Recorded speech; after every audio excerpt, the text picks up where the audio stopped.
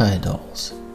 Today I'm going to restore one of Barbie's biggest accessories, also known as Alan's boyfriend, also known as Ken.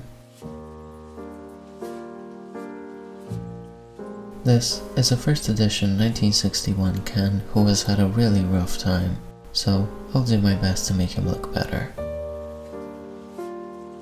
I start by removing his filthy clothes and giving him a good scrub with my toothbrush and some dish soap.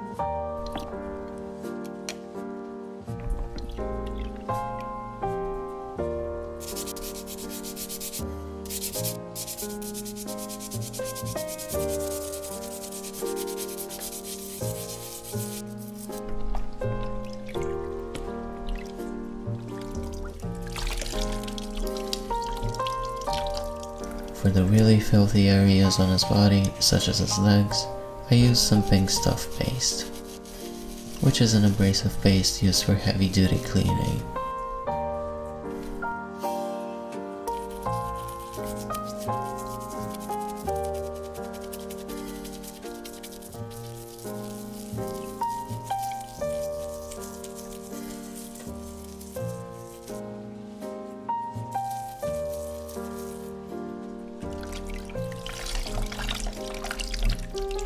And I gave his clothes a really good wash as well.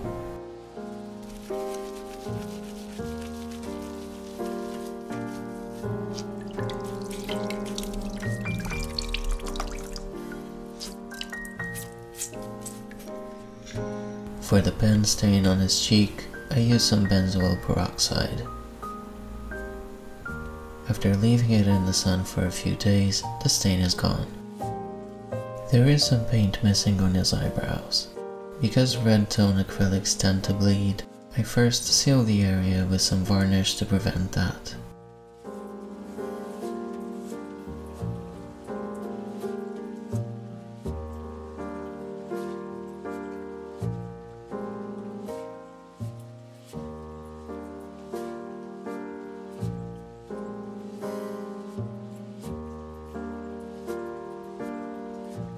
His lash line is severely faded, so I go over them with brown acrylic.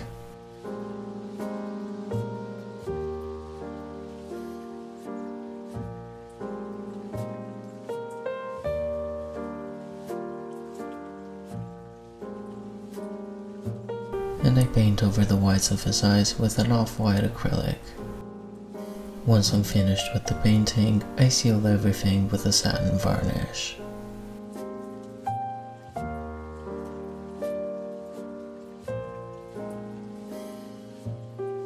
Obviously, most of his flocking is gone, but what little is left, I remove with a dental cleaning tool.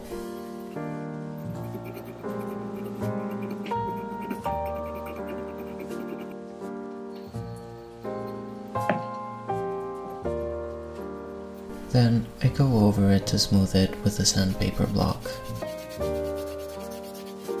What I'm looking for is a relatively flat area. I'm not looking to remove it completely.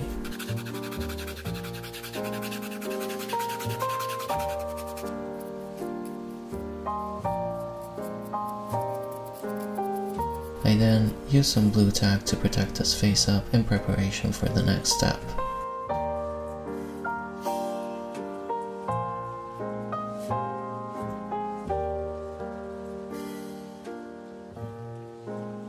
Sprayed his head with a primer to ensure the best adhesion.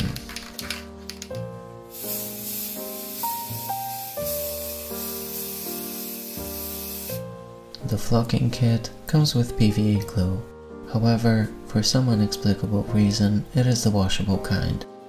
In my experience, this tends to peel off quite easily, so I use the normal kind instead. I begin by applying a thin coat all over his scalp. Then I apply the flocking.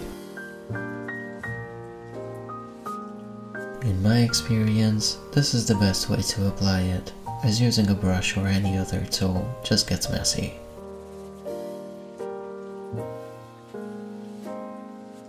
The first layer is never perfect, but that's why we're gonna do three.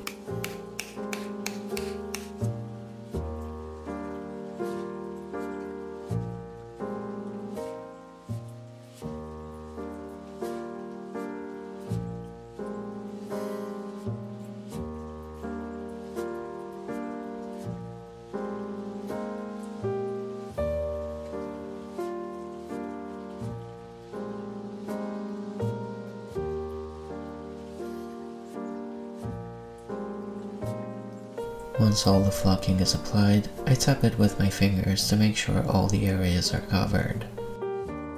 When I'm confident I have covered everything sufficiently, I pat him violently a couple of times to knock off the excess. I then clean the fallout with a wet q-tip.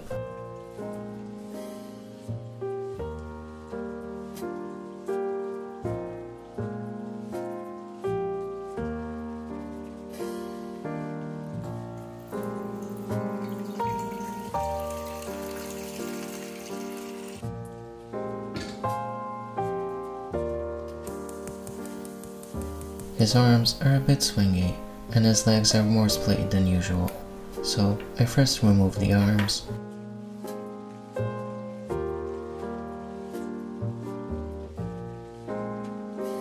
And I tie his legs closer together.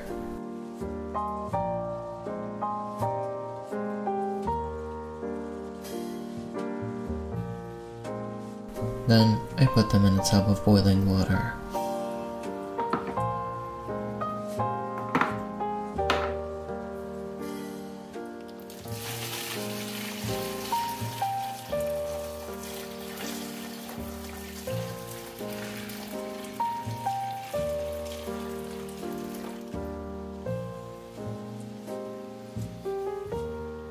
And that's all folks. If you enjoyed this video, make sure to subscribe to my channel and follow me on Instagram to stay updated. Thank you so much for following me and I will see you soon.